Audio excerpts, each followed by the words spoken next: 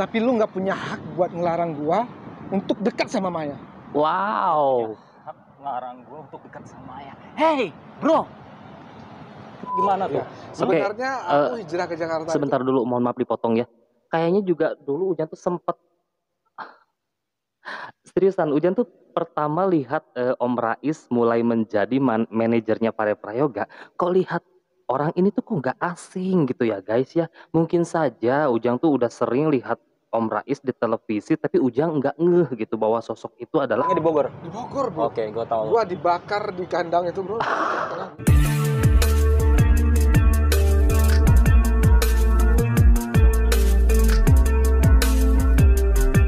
Hai Palop, selamat datang kembali di channel Ujang Halu Masih di reaction video vlog dan musik Kali ini Ujang Halu spesial akan menonton wawancara eksklusif antara Rai Simpson atau yang dikenal Om Rais, manajernya Pare Prayoga di akun channelnya di balik mata kamera nih guys ya Kebetulan Om Rais, manajer Pare Prayoga berulang tahun Jadi kali ini Ujang spesial akan menonton Barangkali palop-palop pengen tahu tentang Om Rais, kita bisa simak video ini ya. Dan tak lupa juga pastinya Ujang mengucapkan selamat ulang tahun untuk Om Rais.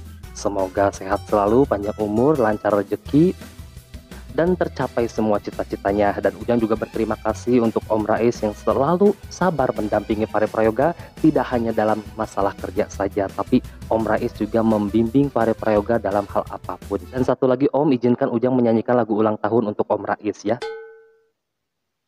Happy birthday to you. Happy birthday to you. Happy birthday. Happy birthday, happy birthday. Happy birthday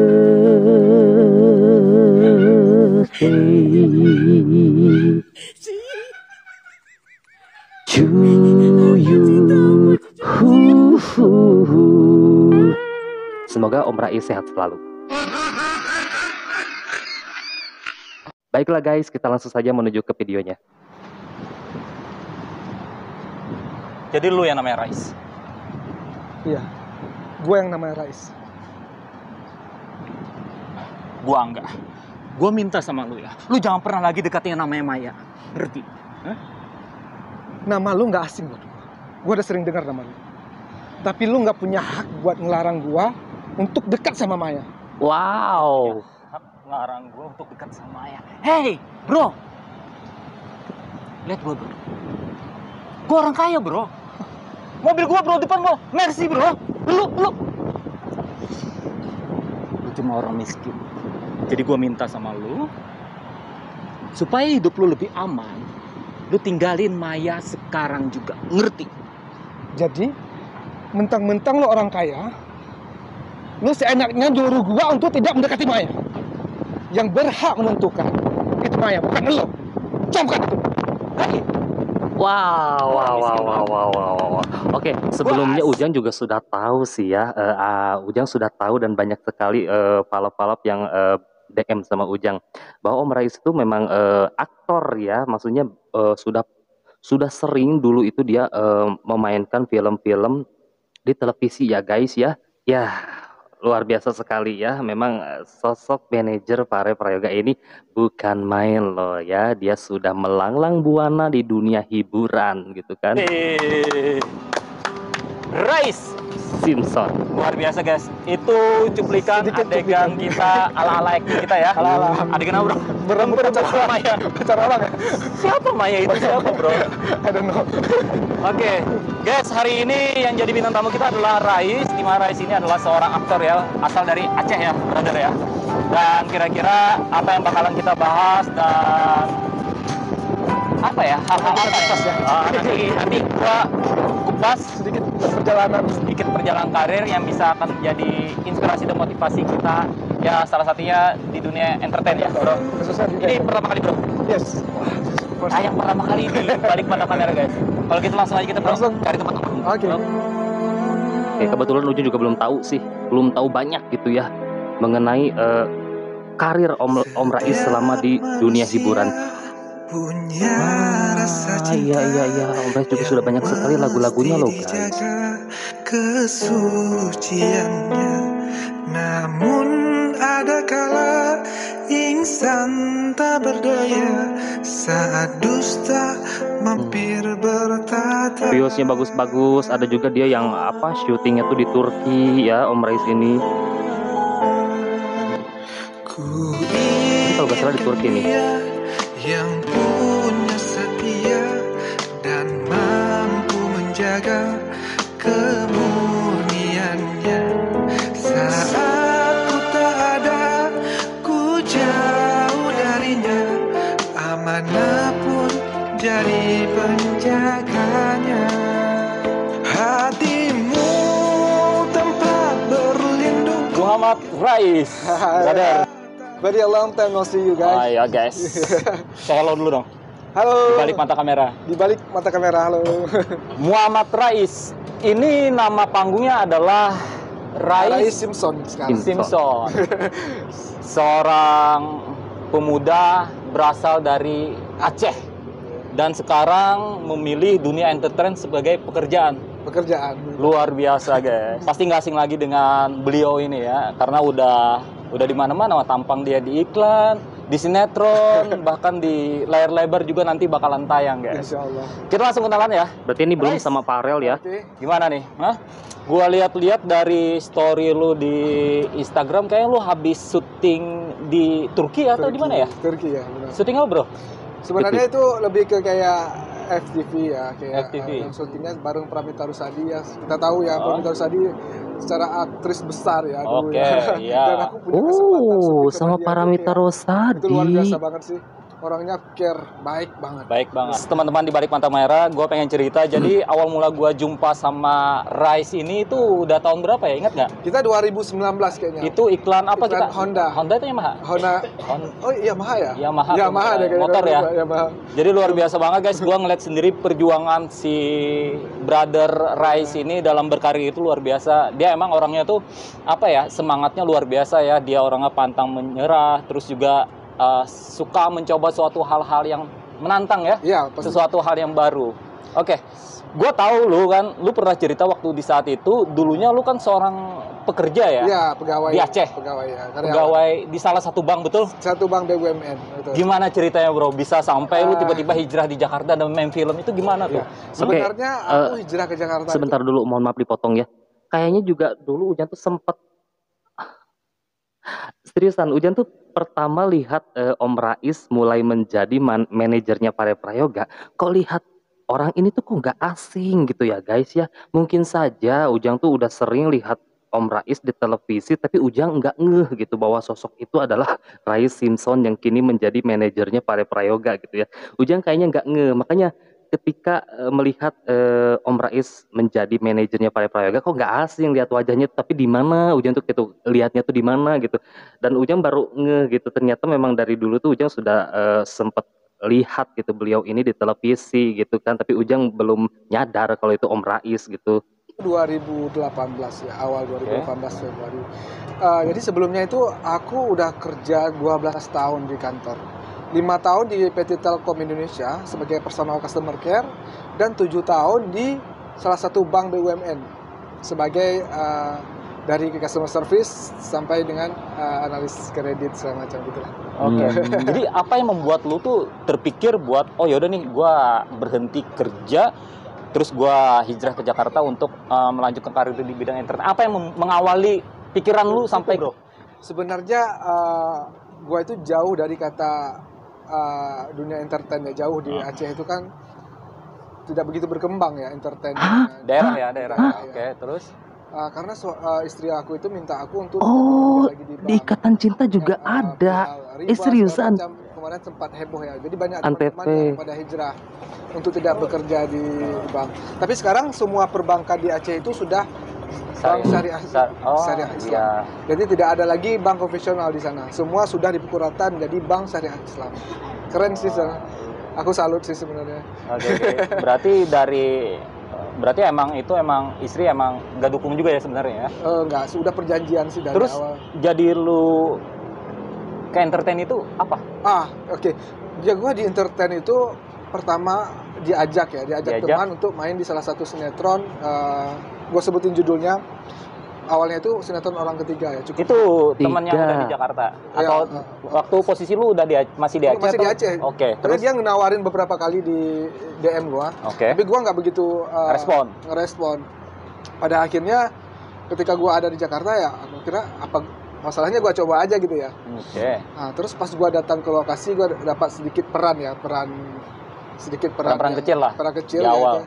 Dan gua langsung perannya itu beradu sama Marshanda, you know. Oh, Marshanda. Wow. Terus ini Marsanda. gua gila. Artis secara artis besar secara ya. artis besar maksud gua. Oke. Selama ini gua nggak pernah lihat dia langsung dan tiba-tiba gua harus berakting sama Marshanda Iya. gitu. Gua grogi banget sumpah. Hmm. Karena gua nggak ada basic ilmu acting sama sekali gitu. Jadi tegang banget dengan aku melihat di di lokasi itu banyak kru-kru ya. Banyak kru. banyak kru, banyak kamera, ada di mana-mana kamera gitu ya. Ah. Semua tertuju ke kita gitu. Dan gue kemudian rasa kayak gimana ya, gue harus harus gimana nih gitu. Ah. Sementara gue basic actingnya nggak ada sama sekali. Gitu. Jadi benar. Jadi lu ke Jakarta, lu memilih dunia entertain, lu bener-bener basicnya nggak ada tuh. Nggak ada, nggak ada. Nggak ada sama sekali, cuma modal nekat doang. Modal public speaking doang sih, maksudnya uh, waktu aku kerja di bank ya sebagai Hmm. customer service di awal kan kita Public sering speakingnya pasti oke orang. banget kalau udah di Ya, bank kerja. Paling ya uh, basic kita ya public speaking doang Public sih. gitu. Ini speaking. Speakingnya. parah sih guys, gila dan nekat banget. Tapi, Tapi gua keren nih dia. Om Rais kan segala suatu hal yang belum kita coba kita nggak tahu hasilnya. Heeh. Dan terbukti dari seorang Rais dengan ya seperti dia cerita tadi dia nggak ada basic tapi dia mempunyai keinginan untuk belajar atau mencoba suatu hal yang baru yaitu seperti entertain akhirnya sampai di titik ini dia udah membuktikannya luar biasa Ya, ya. tapi aku setelah uh, setelah dari peran itu aku ketika ditawarin peran-peran lain aku merasa harus bertanggung jawab dengan peran aku. Jadi bentuk tanggung jawab aku atas peran aku aku akhirnya manggil uh, guru acting ke apartemen oh untuk jadi aku kursus? iya kursus juga. kan takut gitu loh takut aku harus bertanggung jawab atas peran yang dikasih gitu. Artis tuh ada kursusnya ada juga ternyata. sekali, Kirain natural aja mereka bisa sendiri kita ada gitu juga. ya? pasti namanya Iya, lokasi iya. syuting Ada jadi juga gini guys guru. jadi acting itu jujur ya kalau Ya. menurut gua ya itu nggak seperti semudah yang kita lihat di TV ya Oh. mungkin Iya, kalau kita lihat di TV ya Rais Iya ya benar benar. dulu ya kita cuma mikir oh cuma ngomong doang atau Oh, apa benar. dan ketika kita terjun kita ada di lokasi itu di tengah-tengah mereka kita memerankan karakter Iya. yang itu Iya. mungkin saja bukan diri kita Hmm. itu pasti beda banget ya beda banget gila. kadang-kadang kita bisa lupa Hmm. Lupa uh, dialog. Adegan, Ekspresi, dialog, mimik wajah itu pasti semua ada. harus Iya, lengkap benar, ada di sana. Oke. Jadi lu udah berapa lama nih bro di Jakarta bro? Masih di Aku dunia berarti masuk dua, masuk tahun ke-6 sini. tahun ke-6? Masuk, masuk tahun ke-6. Tahun ke-6. Karena kenapa ya? Kita uh, waktu syuting itu udah nggak ada yang namanya latihan. Hmm. Ketika kamera on, sutradara segala macam orang yang terlibat di situ itu udah harus apalagi sinetron ya harus Oke. stripping yang nggak ada adegan harus ngulang berkali-kali itu pasti repot banget itu. Parah gitu. Kalau udah berapa kali udah siap-siap Udah. mental. Iya, Oh, iya, iya. udah. Udah siap. Jadi lu berarti sengaja ya uh, Ah, manggil orang acting Iya. buat untuk Buat ngajarin lo. Iya benar. Apalagi akhir-akhir kemarin pas saat aku di salah satu sinetron Melu- melukis senja itu, aku harus beradegan yang nangis. Nangisnya itu nggak harus nangis nangis banget, tapi kita sakit kayak mata kita berkaca-kaca gitu. Hmm, Kita ekspresi cuma ya. dikasih waktu beberapa menit untuk mendalami karakter itu. Itu itu dan berhasil berarti uh, keluar dari mata. berkaca-kaca. Luar biasa guys. Keren. Jadi seperti itu pengalaman dari Rais. Rais ini istri dokter ya? Ya, Dok? dokter gigi. Masih aktif di Oh, ih baru tahu lah Ujang, Dan istrinya Om Rais itu dokter. Kalau mau tahu lihat aja nih Instagramnya bro. Uh, Fania Latifah. Ya di situ banyak banget aktivitas dia keluarga dan Hmm. juga aktivitas di bidang entertain itu lengkap di sana ya. Kalau anak aku itu dia penyanyi selawat. Salawat. Iya, Hmm. Sekarang, banget sekarang, ya. sekarang dia dia nggak aku terjunkan ke dunia entertain. Hmm. Bukan berarti aku uh, tidak mengizinkan, tapi maksudnya kita milih jalur dia berselawat sehingga dia hafal banyak Jalur selawat. berbeda, ya. Lagu-lagu religi lah. Hmm. Jadi kalau misalnya mau lihat nanti ada di Fania Latifa. uh, Udah ini, YouTube. udah. YouTube. udah banyak banyak. Udah udah berapa ini Banyak. lagu? Ada Udah beberapa lumayan. lagu kalau mau lihat. Waduh, nanti juga sempat kepo ya. di sini ya. Iya. Apa namanya? Latifa Lagu-lagu anaknya Om Rais lagu itu udah dia. banyak sekali loh videonya. uh, Mabruk Alfa Mabruk itu Ini dari YouTube saya bro. Fania Latifah. Ania Latifa. Jadi nah, ini. Ayo Lagu- dong lagu- di subscribe Oh, Ania nonton Latifa.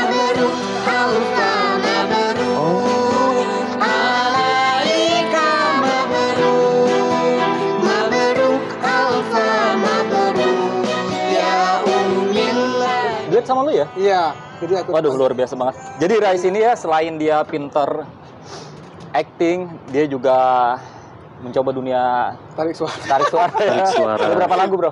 Sebenarnya kalau untuk lagu salawat aku uh, lebih ke kayak nemanin anak aku. Oke. Hmm. Untuk lagu aku sendiri itu iseng sih kayak anniversary sama istri aku Mhm. ngasih kado apa akhirnya aku aku bawain lagu Bidadari Surga. Bidadari surga. Yang aku syutingnya di Turki video klipnya. Oh, Hmm, Turki bener. ya. Jadi, Ya, Ujang nggak salah ya. uh, syuting di Turki dia itu Ah, ini dia. Ah, Di- Bidadari Surga itu lagunya Ustadz Jeffrey.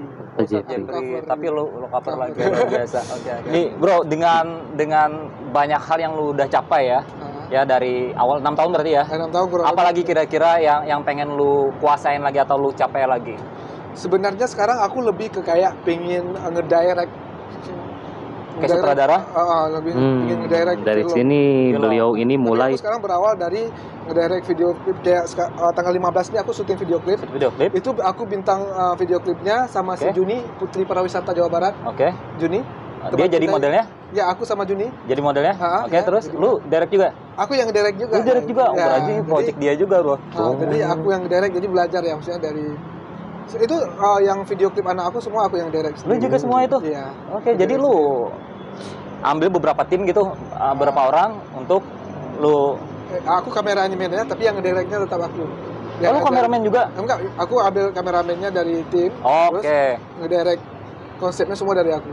Oke, oke. luar Harus biasa. begitu sih biar biar makin maju ya. Oke, guys, gue mau nanya nih, mungkin teman-teman juga penasaran nih. Lu ingat gak, masih ingat gak? Awal lu mendapat bayaran syuting itu berapa dulu? Awal banget nih. Oke, untuk awal itu aku kalau ingat itu sekitar 300 ribu di awal. 300 ribu itu syuting Itu apa, satu bro? scene doang, maksudnya satu scene doang. Satu scene sama tiga- Marsanda 300 itu. Oh, sama Marsani itu, Itu. pertama kali ya berarti ya? Pertama kali, Oke. iya, itu. Itu- Dan gimana hasil hasil syuting pertama kali gimana rasanya mendapatkan uang pertama kali dari hasil syuting? Ya, aku kiranya gini ya. Gila ya semua se- memang sih sebentar banget ya Hmm. maksudnya, tapi ya kita tetap aja deg-degan ya karena nggak pernah gitu ya, deg-degan. Mungkin aku yang paling aku syukuri di, di dunia entertain ini proyek terbesar yang uh, aku dapat itu iklan uh, billboard Traveloka. Oh, billboard Traveloka. itu, itu Traveloka. Jadi udah berapa kali bro di situ kayaknya udah berapa kali ya? Itu. Lihat ya. kalau billboard itu sekarang kita lihat di kota-kota bes- di kota besar, Heeh. terus ada billboardnya kita gitu loh. Oke, Karena yang yang yang di bandara- story lu tadi, seluruh bandara yang, yang lu posting di story, itu BNI yang lagi tayang BNI. di Kalkas. gua tayangin nanti bentar lagi nanti. Kalau Oke. billboard itu kan adanya di seluruh bandara. Seluruh bandara ada semua itu. Ya, Jadi itu satu pencapaian yang cukup yang membanggakan buat, buat diri sendiri gitu. Kalau istri apa tanggapannya, Bro? Eh, aku sih bingung juga sih. Dia sejauh eh, konflik sih ada. Kalau aku ada adegan-adegan sempat ada adegan berpelukan. Hmm. Oh. Dia belum bisa menerima. Belum bisa menerima. Aku pernah ada project Resiko ada adegan ya. berpelukan. eh, terakhir aku minta tolong untuk dihilangkan adegan itu. Ah, Oke, terus Aku hilang. aduh, emang berat guys. Karena itu Berat sempat sekali loh jadi artis itu. ya belum bisa menerima hal itu ya. Apalagi yang sudah Eh, berpasangan jadi ya, gitu kan. Emang gitu ya, brother ya. Jadi kalau misalnya kita namanya kita syuting ya, kadang kita nggak tahu pemainnya siapa ya. Hmm. Namanya kita menerima kecuali kita emang emang benar-benar di awal kita udah dikip kan. Hmm. Kadang-kadang yang namanya tuntutan acting itu ya kita harus bisa berperan atau menjadi sosok seperti karakter yang diminta gitu Ya, kan. benar, Tuntutan. Entah kita menjadi jahat, menjadi baik, entah kita ya salah satu adegan seperti berpelukan, itu Iya. kan salah satu tantangan tersendiri ya. Intinya pasangan harus kuat guys Ya, karena ada gitu. adegan-adegan peluk Ya gimana kita. ya maksudnya memang kadang-kadang kita harus profesional karena Hmm. kita udah udah tanda tangan gitu ya. Oke, tentang Ah, ah, kontrak. ko- kontrak ya. Untuk melakukan adegan, tapi kadang-kadang ada adegan yang nggak nggak disebutkan di Hmm, Iya, hmm. yang Gitu, gitu. ya betul-betul. Tiba-tiba ketika kita Ah. mau tik atau kita di saat kita ha- hari syuting, silahkan gak Tiba-tiba adegan itu muncul, bro. Ah, ini itu di itu ini ternyata jadi di masalahnya kadang ya. Iya, kadang. Oke, luar biasa. di restoran Oke, ya kayaknya ada eh, orang lewat. Jadi menurut lu acting itu apa sih sebenarnya? Acting itu kalau menurut gua itu acting itu luas banget ya sebenarnya. Luas ya. Acting itu nggak sekedar uh, kita berakting kayak gimana ya istilahnya acting itu bahasa tubuhnya juga harus Main. harus mengikuti Natural? natural harus natural mata harus berbicara gerak tubuh segala macam itu itu keseluruhan sebenarnya Keseluruhan ya. Nggak- nggak Jadi bukan yang- hanya berakting kita dengan berdialog ya, Iya, tapi bahasa tubuh, Enggak. muka itu Iya. semua harus mencakup ya. Iya. Kayak Karena gitu. aku di awal itu aku kira kayak sekedar menguasai dialog yang akan kita uh, Iya, Iya, akan perankan. kita perankan gitu loh. Sebenarnya nggak begitu. Semuanya kita harus kita ngobrol itu juga harus bahasa tubuhnya semua harus senatural mungkin. Hmm. Bro, oke oke. Lu Makanya pernah nggak, salut bro, ya sama uh, pemain-pemain sinetron tuh. mungkin awal-awal atau apa lu pernah ditegur kah sama sutradara atau apa? Kalau gue jujur, gue pernah tuh awal-awal tuh. Cuma yang namanya kita belajar, ya udah kita perbaiki. Kalau lu Nah. sendiri gimana bro? Gue pernah sih, pernah sih waktu aku uh, syuting sama uh, almarhum Ashraf Sinclair. Jadi, Ah, sempat Cinta, cinta yang hilang. Cinta sama yang hilang. Gua pernah Sinclair masuk eh, itu su- ah, suaminya BCL. Si As- Ashraf jadi dokter apa gitu loh, Hmm. Jadi Uh-huh. temannya dia. Terus kayak di lokasi itu Ashraf tuh kan baik banget ya, maksudnya Oke. berteman gitu ya. Tapi Oh. pas gua lagi tag dia kayak bercanda gitu bro, gitu loh. Gua karena gua nggak fokus, akhirnya Blank? gua kena nggak tegur sama sutradaranya. Gue tahu tuh sutradara itu. Iya, Gue tahu, gue itu tahu, dia tahu, tahu. Pasti tahu. Gue tahu soalnya. Bro, ya. gue tahu itu emang ya emang kayak gitu bro. Cuma sih dia bukan yang negur gimana, cuma Mas konsen dong Mas, matanya ke mana sih gitu loh. Padahal Oh, aku mata lagi aja lo dipermasalahin loh. Itu sangat oke, oke. Cuma kayak Detail yang paling sekali peraturan. itu ketika gua main di FTV Azab. Ajab. Azab Itu syutingnya di Bogor. di Bogor, Bro. Oke, gue tahu. Gua dibakar di kandang itu, Bro. Tengah gua dibakar. Terus kayak ada adegan fighting pertama gua di situ. Oke. Oh, Itu gokil sih, Bro. Ketika gua turun dari situ suara gua udah Udah udah habis. udah habis gitu. Karena terlalu ya Iya. terlalu bersemangat untuk menunjukkan yang terbaik ya. menjiwa- menjiwai ya. Gokil All sih out. dibakar gitu, Bro. Wah, gokil Oke. sih. Oke, Rice. Lu nyangka nggak, Rice? Pilihan lu nih akhirnya Sambil bakar nih. Oke, silakan. Pilihan lu di bidang entertain ini memposisikan lu sekarang di titik ini lu nyangka nggak? Lu dengan waktu enam tahun, kalau menurut gua sih termasuk cepat ya. Nah, Nyangka nggak lu tiba-tiba lu bisa ada project syuting nih di luar negeri dan lain-lain kayak gitu? sebenarnya gua tuh nggak ada yang op- apa target harus begini-begini enggak. Hmm. kayak ngalir tapi gua harus bertanggung jawab gitu setelah bertanggung jawabnya gua harus ini gua harus gimana nih gua harus gimana nih Oke. nah, gua juga kadang-kadang di dunia entertain itu nggak nggak tampang dong sih Oh iya, Harus- bukan hanya tampang ya. Jadi attitude kalau kita harus, harus Ah, bagus oke. datang harus on time ya, Ya, harus disiplin disiplin. itu paling penting ya. Percuma kalau misalkan wajah ganteng, Iya, cantik ya. Kalau iya. misalkan attitude ataupun uh, sering ngaret itu Ya, susah benar, untuk susah. dipakai orang. karena ada ada ada beberapa kali aku lihat di lokasi itu basicnya misalnya perempuan tuh dari model modelnya Hmm. tapi ketika dia di dunia masuk ke dunia acting dia tuh kayak nggak bisa berakting natural kayak jatuhnya jatuh cantik harus megang rambut segala Oke. macam itu itu Heeh. akhirnya habis ya. ya habis gitu Habis pas di sana. dimarahin Ah, gitu Hmm. Jadi emang gitu guys. Memang acting itu nggak semudah yang Iya, dibayangin. nggak semudah. Iya. Makanya ada ya sekolah acting Iya. atau apa buat ya membuat Jadi semuanya itu biar ganteng dan cantik lagi itu gitu. Belum cukup Oke. ya. Artis tuh harus all out bisa guys. semua gitu. aku har- harapan Gan- aku ke depan cantik dan aku ganteng itu nilai plus. sesuai target aku tadi Saya target. targetnya itu aku pengen ngedirect satu film Oke. Wah, mungkin aku akan awali de- eh, di web series segala Web series. gitu ya. yang benar-benar aku aku yang eh, produserin sendiri aku yang direct sendiri gitu aku udah udah di tahap itu sekarang gede banget ya cita-cita Oke. Om Rais ini luar biasa ya, loh. Oke, oke. lebih kayak Hmm, pengen aja gitu Oke. Oke. Jadi bagus banget guys ya kita bisa ngambil pelajaran dari seorang Rais ya. Hmm. Dia sampai titik ini pun dia merasa harus belajar lagi. oh tentu Hmm, Iya kan tidak ya? gampang Karena puas kalau ya. kita sudah merasa puas dengan apa yang kita capai, kadang-kadang kita merasa kayak Males "Udahlah, belajar gitu." lagi. Jadi nggak ada merasa kayak ada tantangan ke depannya Ah. lagi ya. Hmm. Tapi dengan kita mencoba untuk menggali lagi potensi kita, Hmm. otomatis banyak hal sebenarnya yang bisa kita capai ke depannya gitu ya. iya pasti Guys, nih mungkin ada teman-teman ya yang melihat tayangan ini nantinya pengen juga nih menjadi seperti Rais. Ujang juga pengen dong. Pesan-pesan lu apa buat mereka? Kalau seandainya mereka pengen juga Iya. terjun di entertain, khususnya di Jakarta ya, Iya. apa yang harus mereka siapkan dan perhatikan sebelum Ujang pengen main film dong Om Rais. Ah, mungkin gini untuk orang yang ah, pengen ke- masuk ke dunia entertain Heeh. dunia entertain tuh memang kalau mereka mengingat persaingan ya pasti ada akan akan terus ada tapi yang penting kita berani harus berani uh, tekad aja gitu maju aja gitu nggak usah Hmm. yang merasa minder uh, atau segala macam Oh, pokoknya maju aja maju, Maju ya, maju. maju. Ajar. Jadi ya, ya itu ya guys ya. Sebelum berangkat ke Jakarta, ya kita harus pikir matang dulu ya. Ya, Kira-kira kita memang benar-benar ingin merantau kah? Karena ketika kita udah di Jakarta itu beda lagi ya. Namanya kita udah keluar dari zona nyaman ya. Benar. Di rumah kan semua serba Jakarta ada itu nih. keras Kalau di Jakarta kan namanya kita merantau ya. Benar. Apalagi kita ke entertain nih pasti kita bertemu dengan orang banyak. Orang-orang banyak betul. Yang penting kita yaitu terus belajar seperti Brother Rice ya, belajar terus terus juga apa ya? Etika ya. Etika kita harus itu sangat penting ya. Menghargai waktu juga, menghargai teman-teman karena rezeki itu bisa datang dari teman-teman juga, Bro. Iya benar itu. Ya kan ya? Ngerasa nggak, Bro? Jangan pernah sombong. Intinya jangan uh, setiap orang baru yang kita temui itu kadang-kadang itu adalah jalan rezeki buat kita. Jadi kita jangan pernah merasa sombong ya dengan uh, mentang-mentang kadang-kadang kita dapat peran akhirnya orang-orang di bawah kita itu kayak kita nggak Yang merasa sepele uh, atau sepele. Apa. itu jangan pernah. Uh, jadi kayak saling berbagi aja ya, Iya, berbagi saling ilmu berbagi kayak aja. gitu. Jadi kan kayak kita sekarang kan. Uh, kita baru bertemu sekali ya di, di sana. Uh, dua kali sama inget nggak? Waktu di Antv, Antv kita Antv depan Antv, gue syuting Facebooker. Oh, Lu nyamperin oke, ingat nggak? Oke oke, lu, lu syuting Facebooker dulu Ah, ya pernah benar lu benar. nyamperin. Waktu itu lu masih tinggal di apartemen Eh, di Kuningan? Rasuna Said. Ah, Oke. Iya, di Rasuna Said. Benar benar benar benar benar. Iya kan ya? Itu yang terakhir ya? Iya, itu yang Uh, terakhir. udah lama banget bro. Iya, benar benar. Beberapa tahun dan akhirnya ketemu lagi. Iya. Ya karena ya Karena masing-masing pandemi ya, mungkin pandemi kan pandemi dan masih ya, masing-masing ada kegiatan juga ya akhirnya Iya. kita bisa ketemu Iya.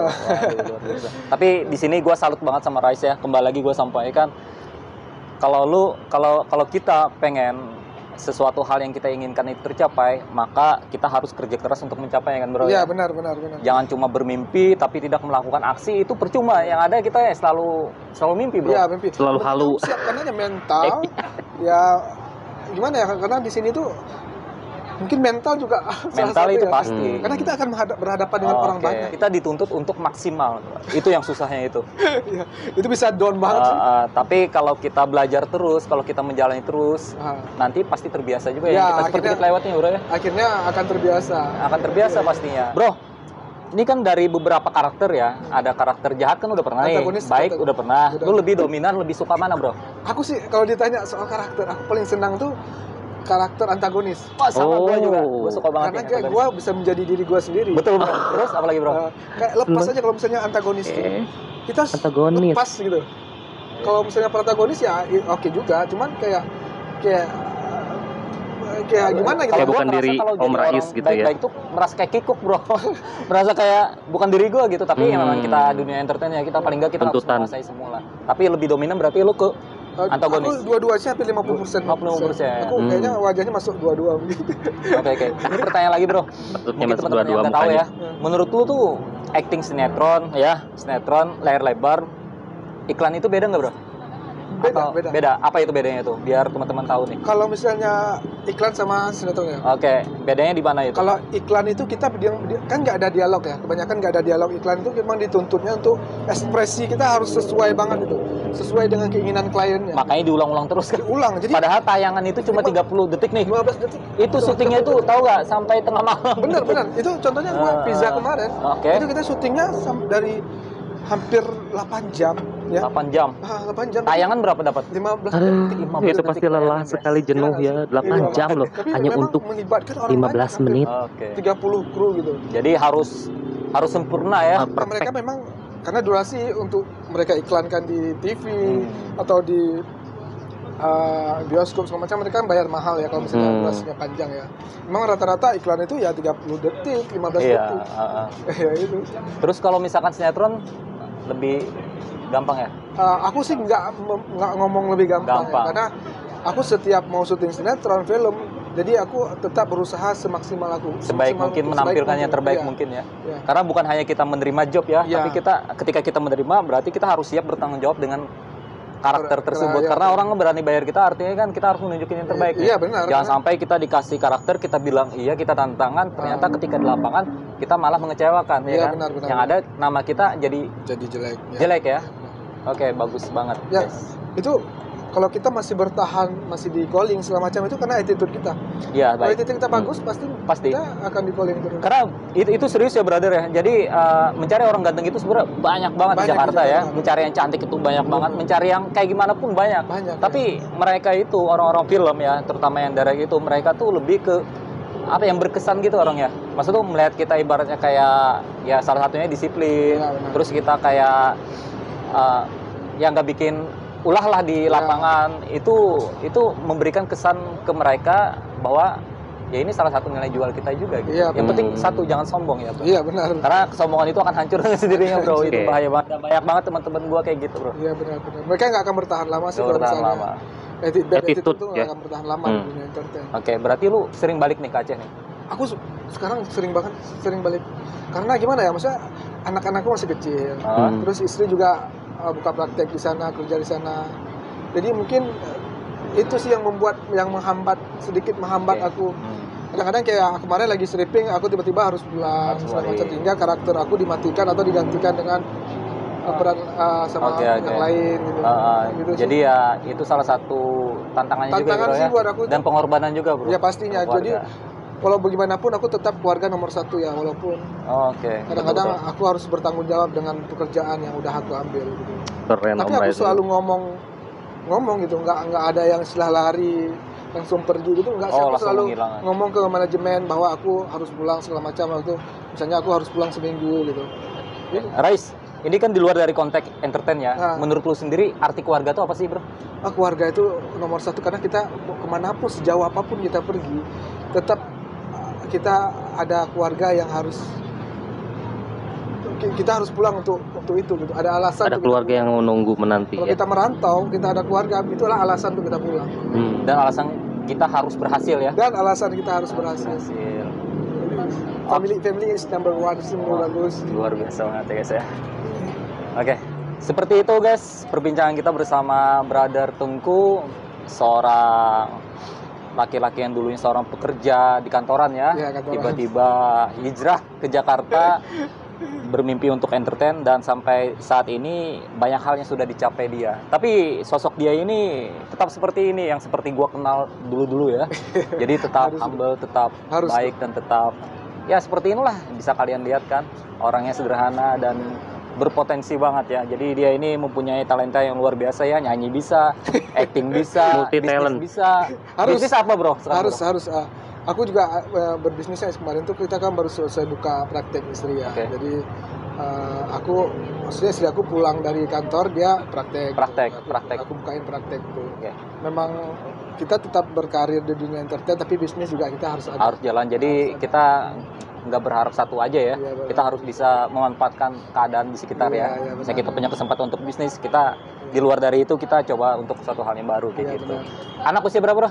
anak aku sekarang yang paling besar sekarang enam tahun Enam masih tahun? TK, yang kecil 4 tahun Kira-kira apa uh, yang pengen lu sampaikan ke mereka nih bro? Uh, sebenarnya aku sih uh, termasuk salah satu orang-orang orang tua yang dirugikan dirugikan kenapa Dalam arti apa tuh? dalam arti karena aku uh, tidak bisa sama-sama sama mereka. Hmm, sama sama Nah, sama. jadi kayak aku di Jakarta, anak-anak di Aceh. Kadang anak-anak kadang-kadang memang saya bawa ke Jakarta. Tapi aku kehilangan momen-momen momen berharga lah. berharga Saat tumbuh mereka. kembang dia ya. Iya, Hmm. Tapi ya kembali lagi itu adalah sebuah pengorbanan yang pengorbanan harus yang harus uh, kan semua yang lu lakuin itu kan sampai detik ini kan buat mereka juga. buat gitu. mereka juga. Jadi Apa nih bro yang pengen lu ungkapkan ke mereka nih? Uh, sebenarnya gini, kalau kalau aku menyampaikan ini untuk anak-anak aku, aku berjuang di sini itu untuk masa depannya anak-anak aku. Jadi aku kayak sekarang ngedaftarin dia di international international school, sekolah bagus terbagus di Aceh. Hmm, di Aceh. Itu untuk masa depannya dia, walaupun mahal, tapi ya itu bentuk Terjamin untuk ya. kesalahan aku yang aku harus tebus Oke, untuk tebus. uh, masa depannya Ah. dia. Sehingga suatu saat ketika dia hijrah ke Jakarta, dia sudah ada basic ada basic. ya Oke. Untuk bersaing secara internasional Oke. di Jakarta. Oke. Kalau untuk istri udah berapa tahun nemenin? Eh, kita udah pernikahan kita mungkin sekitar 7 tahun, 7 8 tahun. 7 8 tahun. Delapan tujuh delapan 2015. tahunan. Oke, apa yang pengen banget lu sampaikan nih ke istri lu? Wah, Kalau seandainya boleh, lu kan terpisah nih kan ya, Oke. nggak setiap saat ketemu ya, Benar, sama lah kita kayak gitu kan. Apa yang pengen banget lu sampaikan ke istri lu? Apa gitu bro? Em, sebenarnya aku nggak ada kata-kata puitis untuk dia. Ah, tapi aku aku berterima kasih banget ya. Dia telah menjaga anak-anak aku. Eh, udah menjadi Wonder Woman. Duh. Kedua anak-anak aku itu sungguh luar biasa buat aku. Karena di saat aku nggak ada, dia yang harus eh, ngambil alih ya. Dia yang menjadi seorang ayah dan dia menjadi seorang ibu ketika aku nggak ada. Walaupun ada adik-adik aku yang selalu standby untuk eh, antar jemput anak gitu tapi aku selalu usahakan tetap pulang pulang nah itu itu itu eh, aku harus bersyukur banget sih karena dia bisa mendukung mendukung mengerti, mengerti memahami memahami dengan kondisi itu yang membuat lu berada di sini ini iya. ya. yang membuat lu berada di titik ini nggak lebih dari sosok keluarga di belakang yang mendukung Iya benar benar benar. Iya benar. Seperti itu guys. Perjuangan seorang Rais dalam mencapai mimpi-mimpinya luar biasa banget. Dalam perbincangan ini gua rasa gua sendiri ya dan juga teman-teman pastinya banyak mendapatkan hal-hal positif yang bisa kita ambil dari perjalanan hidup dari seorang Rais ya. Ya. seorang pekerja keras penyemangat suka ya suka mencoba hal-hal baru dan yang terpenting dia sosok ayah yang tak lupa dengan keluarga di rumahnya Pastinya harus menjadi orang yang bertanggung jawab.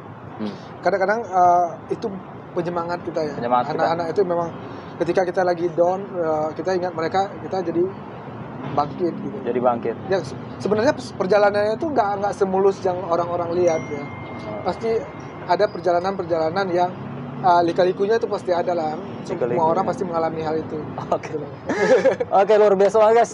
Kembali lagi luar biasa gue sebutin. Memang kalau gue ngobrol sama dia ini nggak ada habisnya bro. Karena asik banget kita ngobrol ini. Eh, Kita banyak hal sebenarnya yang bisa kita bahas di tayangan ini ya. Tapi mengingat durasi, ya mungkin next time ya. next time kita bikin part 2-nya lagi ya nanti.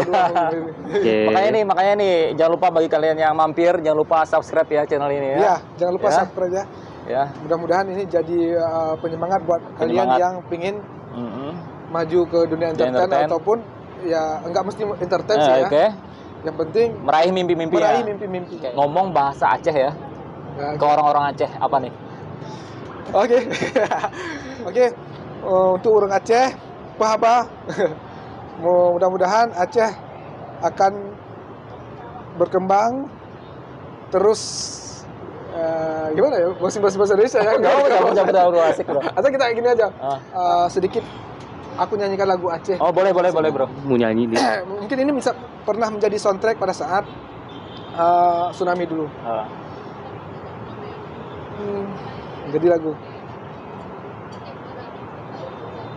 Jinolon kisah sabori waya Kisah barotat barotat di Aceh Raya. Lem karu Aceh Aceh Timungon barat ngon barat. Ulan rindu tat rindu tat kene rupa Ya, biasa. Jadi Ya. itu uh, Lagu daerah itu anak- ada khasnya anak gitu loh dari lantunannya itu. gitu. Iya bro. Oke. Brother, Ya, makasih ya thank you. udah meluangkan waktunya sama-sama. ngobrol bersama gue ya. Mudah-mudahan tentunya kita semua berharap si Rais semakin sukses, semakin Amin. melejit lagi, Amin, semakin amin. mengeluarkan ya karya-karya terbarunya nanti Amin, ya. amin, amin. Ya. Akan akan Oke. terus ada karya di Akan YouTube. terus ada karya nantinya ya. Ya. Oke. Oke guys. Sampai berjumpa kembali dan dan apa ya? Dan apa bro? Dan jangan lupa like, subscribe, and share. Nah, itu mungkin Oke, maksudnya. guys. Sampai berjumpa lagi di tayang berikutnya tetap di balik mata kamera.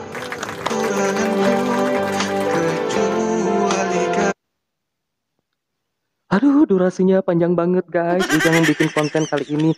Ya, seperti itulah ya. eh, Banyak sekali hal-hal yang baru kita ketahui tentang Rai Simpson atau yang dikenal akrab dengan Om Rais ya guys. Manajernya Pare Prayoga. Yang memang sudah melanglang buana atau pengalamannya itu sudah luas sekali ya. Di dunia hiburan, di dunia entertain. Maka eh, banyak sekali Om Rais planning-planning ke depan mengenai eh, karir Pare Prayoga ya. Seperti yang pernah beliau ungkap bahwa Pare Prayoga akan mencoba untuk terjun ke film atau main ya main film gitu kan. Karena memang Om Rais kan ada basic di sana gitu. Meskipun kita tahu tadi di ceritanya bahwa beliau itu main sinetron tuh dari nol tidak punya bakat acting. Tapi dengan tekad kesabaran dan eh, punya rasa percaya diri yang luar biasa ya akhirnya beliau bisa menjadi pemain film ya. Luar biasa sekali menurut Ujang. Dia karena beliau ini tadi juga dijelaskan ya eh, dia hanya bermodalkan public speaking ya.